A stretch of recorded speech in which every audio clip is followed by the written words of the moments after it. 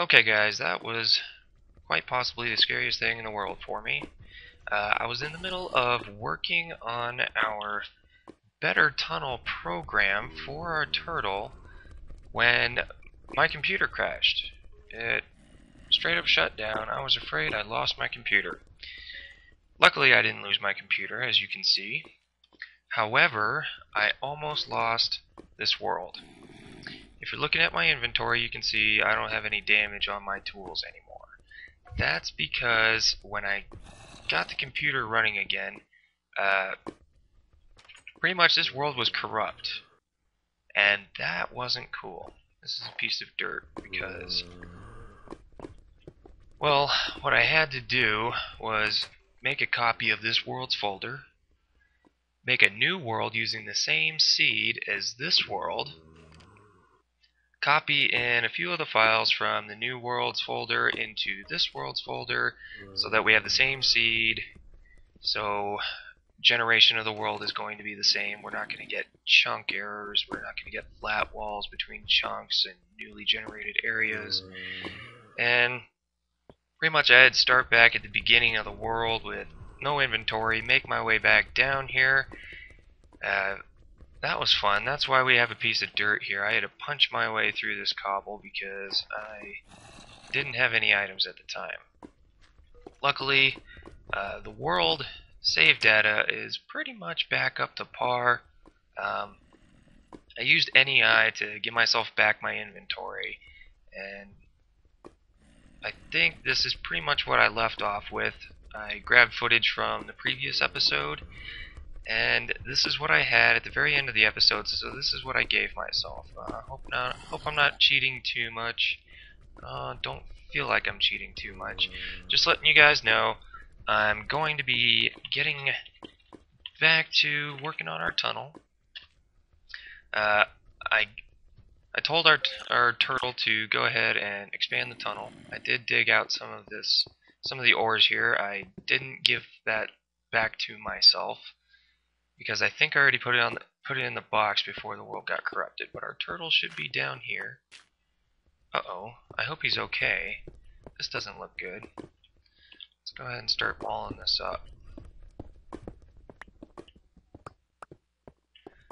Something to note about the turtle is with the default program, he will place down bridges if he comes across a pit. That's nice. Uh, it doesn't look like he needed it right there, but... Oh, here he is. I think he's done. Let's check it out. Okay, found a bit of coal, bunch of cobble and dirt and gravel, and some tin, iron, and redstone. Not bad. Let's grab that from him. Uh, shut him down. Pick this guy back up. I think his job is done for now. I'm going to grab the resources on the way back and work on that program some more, and I'll be back with you guys.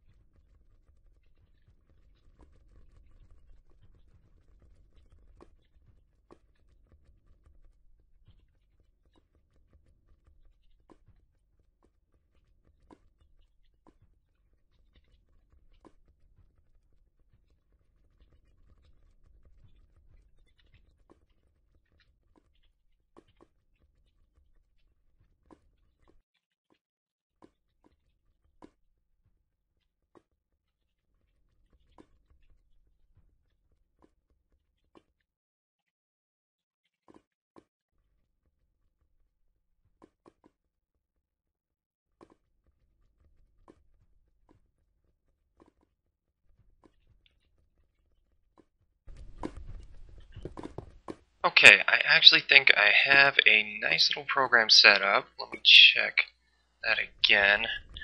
Not sure if I did something that I should have in this code. Let me see. Okay, inventory, dig, select. Okay, yes, yes, I did. Awesome. Alright, but our turtle doesn't know about this program. It's on this computer and this computer only. And that's where this disk drive is going to come in handy. But first we need a disk. So I'm going to head up to the surface. We're going to try to find ourselves some reeds or sugar cane or whatever you want to call them, but you make paper out of them. And the paper is what we really need. So I'll be back when we go when we find some.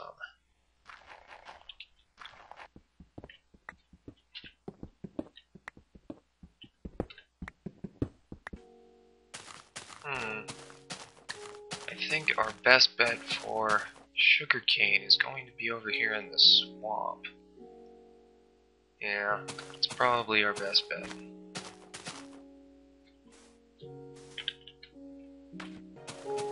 Alright, found some. So it looks like it was in the swamp, just uh, on the edge of the swamp.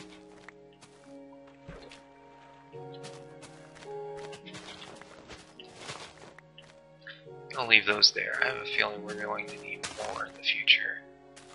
Oh, that is so awesome. Alright, back to the cave. And just to make a note, guys, right here at the ravine, I did end up building a staircase down through the marble here. A little bit shorter, don't have to go all the way back around through the ravine to get to our base camp. Alright, we're back. Now, with this sugar cane, we can make some paper. Just like so. Like like we always make paper. And then we just put a piece of redstone on top, and we get a floppy disk. Awesome. Now, just put the floppy disk into our disk drive, access our computer, go into our list, and you can see that we now have a disk entry on our computer.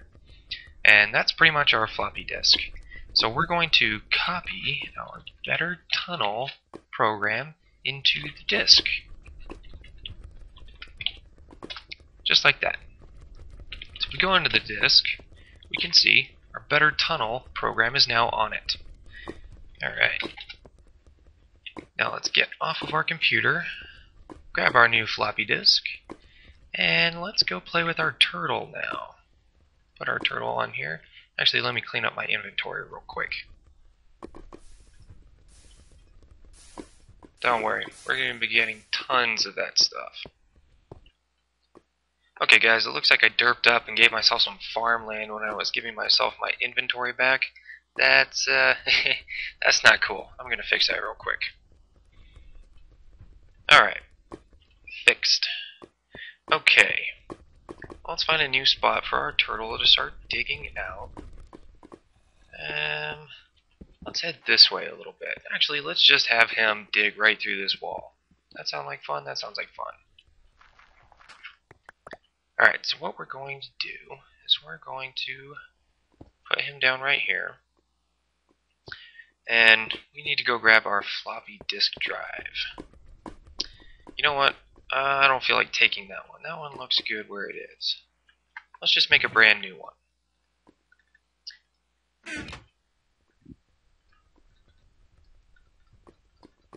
Same recipe, floppy disk drive. Alright. Actually, we're going to need a couple more items in order for this guy to function optimally. I'm going to get those crafted up right now. Okay, for this we're going to want a piston.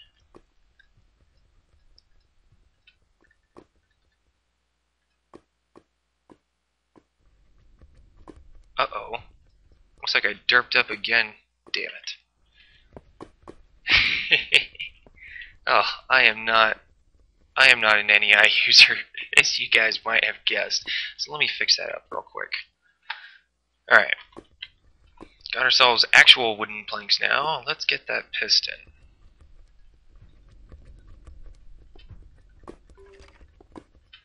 got our piston. We're going to put that in the center here. Put a piece of redstone on the bottom. Two wooden planks on the side. And cobble all around. And that's going to get us a transposer. We're also going to need a chest. Just a normal chest. Take that out here. and We're going to see how this works. Alright. So here's where our guy is going to be. Now what I've told him to do, let's put the floppy disk in here, is I've told him that every seven blocks he's going to turn around and he's going to take the block out of his second inventory slot and he's going to put it down. That's where we're going to place torches. So he's going to use torches in order to light his path. He's also going to use his first inventory slot to make bridges. We're going to give him one cobble to start off with. He'll get his own on his way.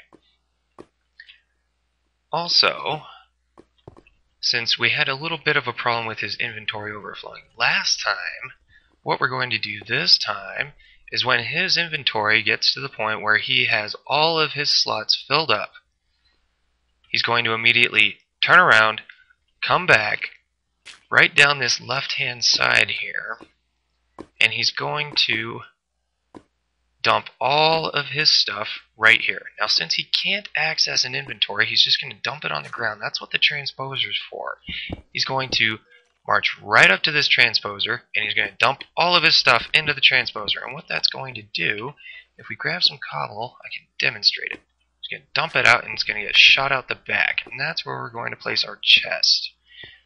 So let's see how well this guy does. If I did everything correctly, this should be good.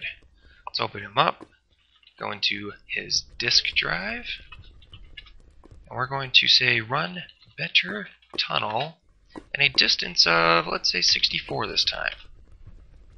Uh-oh, I'll be right back. Alright guys, it looks like he's doing okay now. Um, I forgot to put a do after one of my a couple of my for loops, and uh, as soon as I put that in, he's running just fine right now. Let's see if he does what he's supposed to. As soon as he gets up to seven blocks into his path, he's going to turn around and try to put down a torch. I hope so. Let's wait and see.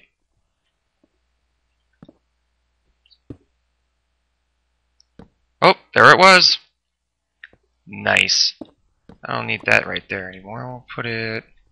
Yeah, we'll put it right there.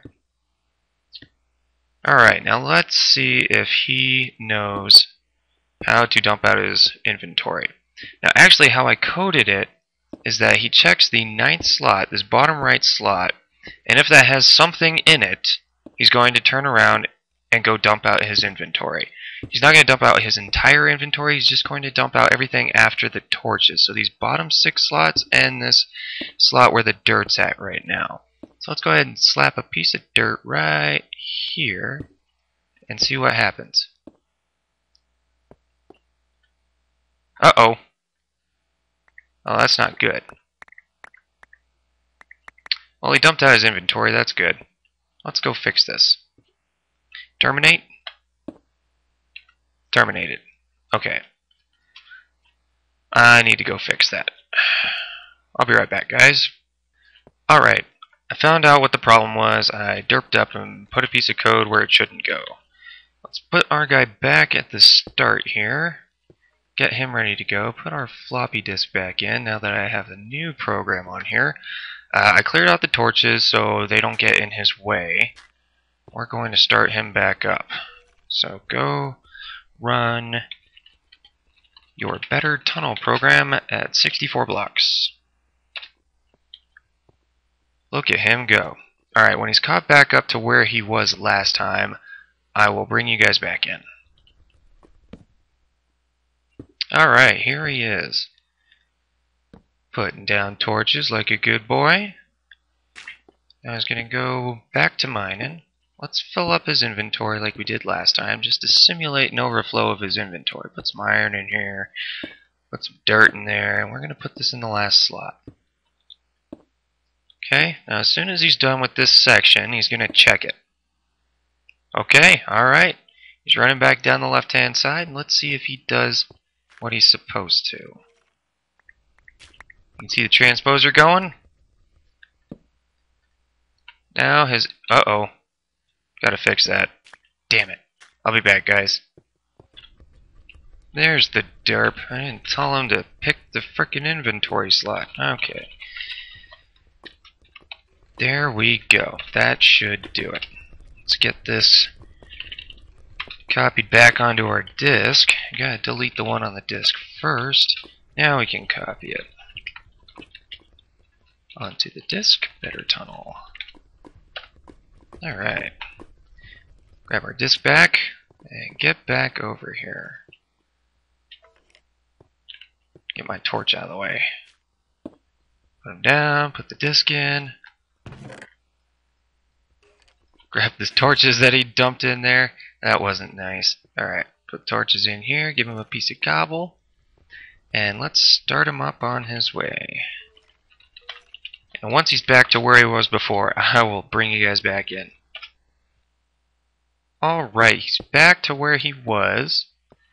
Now let's overload his inventory just like before. Put some copper, put some iron, some dirt, maybe a piece of redstone, and then put the cobble in the last slot. As soon as he's done, he's going to run all the way back to the beginning. Let's keep an eye on his inventory this time. Nice. Emptying out everything. Uh-oh. Alright. Well, I think this actually does work. It's just that he didn't have anything in those other two slots, so he compensated. So sue him. Give those back. Nice. Alright, I'm going to leave him to finish up. I'm just going to assume that he's actually doing what he's supposed to be doing, and I just didn't do a very good job of demonstrating.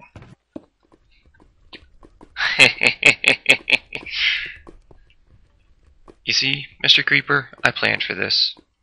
Last time I was working on computers, you snuck up behind me while I was coding and blew up my computer. That's not cool. Now just die. Oh!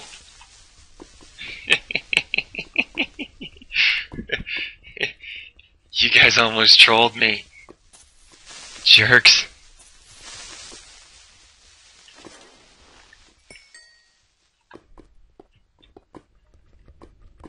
Put that back. Alright, I'm impatient. Let's go see how he's doing. Ooh, lava. Good time to demonstrate his bridge building capabilities. Now you notice he does wait for gravel to fall down. There we go, place it down some cobble. He waits for gravel to fall down. This way, he isn't going to let the tunnel collapse.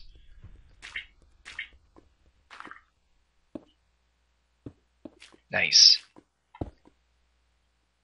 There's some tungsten up there pretty worthless unless you're using equivalent exchange right now. How's he doing on inventory?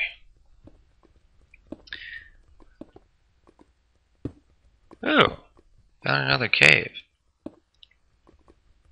Well, this guy's not afraid of caves. He's just going to truck along, mobs are going to ignore him. As you can see, he is a block, so he can't be hurt.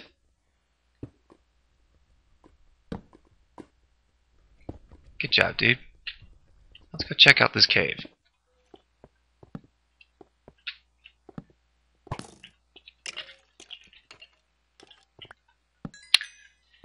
Oh, that was short-lived. But we did find some more redstone. Nice. 14, 13, 12, 11, 10. So this tunnel is completely safe. The lowest light level along this tunnel is 10. I didn't even see him go by. Nice. Oh, he's back. Uh-oh. Bro, come back here. You ran out of torches. There you go. Yeah, he'll pick up some cobble. Or dirt or something. I wonder why he did that.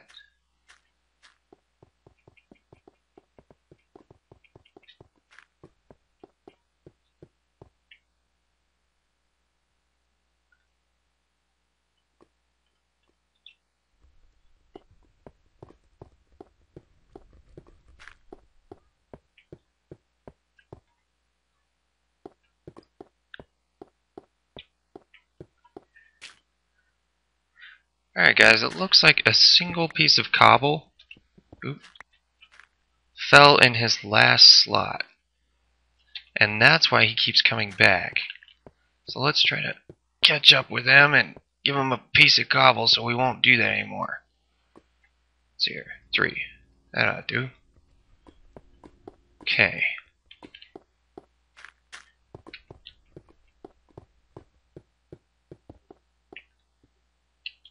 Aha! I think it's because his selected piece. Yeah, his selected inventory slot was still at number 9 from the last time he dumped out his inventory. I'm going to have to fix that in his program. But for right now, he's close enough to being done. I don't feel like we have to restart him.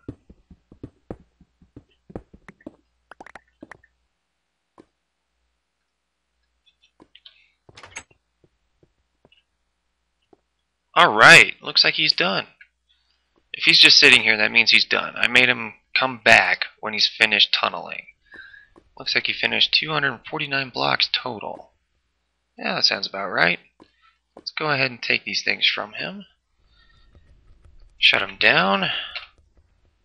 Goodbye, little guy. Pick him up. Alright, let's see what we got. We got some copper, rubies, I'll clear that out. For now, let us move him to a new spot so he can keep mining. Right. Right here sounds good. There we go. Okay, put our disc in and get this guy going. Give him some torches. A little bit more than that. Maybe 20. And a piece of cobblestone. And we will say run your disk program. Better tunnel. Uh, go with 64 again. Alright, looks like we're getting stocked on redstone. We're also doing pretty good with iron, tin, and copper. We also have a ton of cobble. I don't need cobble. We don't need cobble. Put our flint in here. Again? Really? You don't have a buddy this time, do you?